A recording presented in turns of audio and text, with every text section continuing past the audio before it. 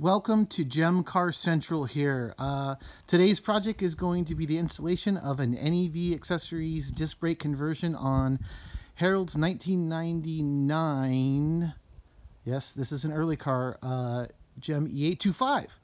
Um, I wasn't planning on doing an install, but this car is just so clean and the the brake kit's been painted and it's just, I would be doing us a disservice by not documenting said thing.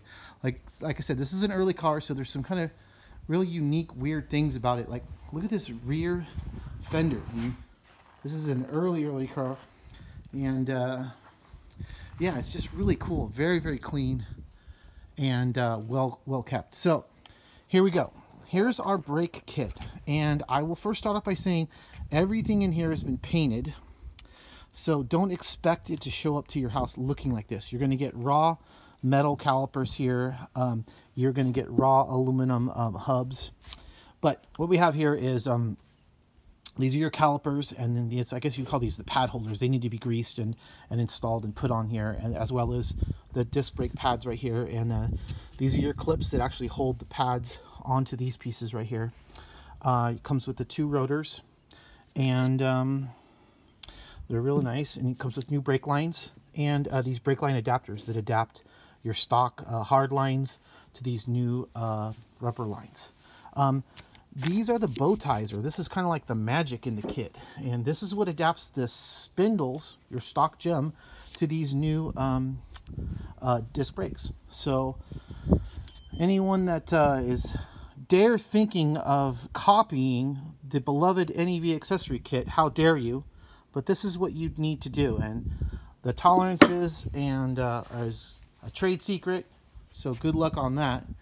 Um, I would recommend just buying this kit because it's so convenient. It comes with everything you're going to need. This is all the hardware and um, a list of parts. There is no instructions, so that's what I'm going to attempt to uh, help us out. So we'll we'll take these wheels off here, put it on jacks, and we'll we get back the wheels off. And the first thing it's going to do is we're going to take this uh, hub nut off, which is a 15 16ths and then you have 13 millimeters on the back. There's four that hold uh, this whole assembly on.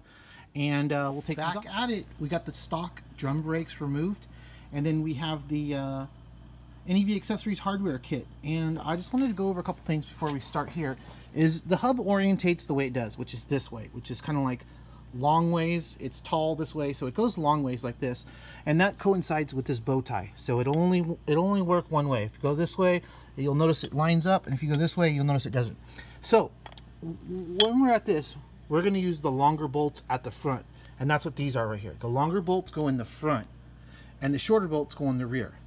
So um, I will, uh, I'll bolt this up, and I'll explain it a little bit better in a second. Okay, we got the hub on, and everything's loose so that I can show you what's going on here. We used some uh, some Moly Graf grease on the um, the spline there to the hub because this thing does move in and out and you want some uh, grease on there.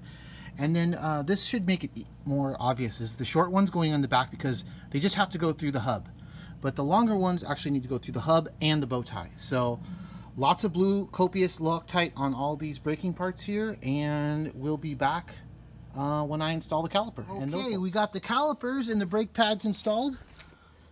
I have to admit it was a little tricky these clips gave me a little bit of uh, I didn't uh, I didn't see how they were installed with the uh, brake pads because the calipers came painted and disassembled. So um a quick phone call to NEV accessories and a few pictures later we're in business. So on to the lines and uh, we'll be back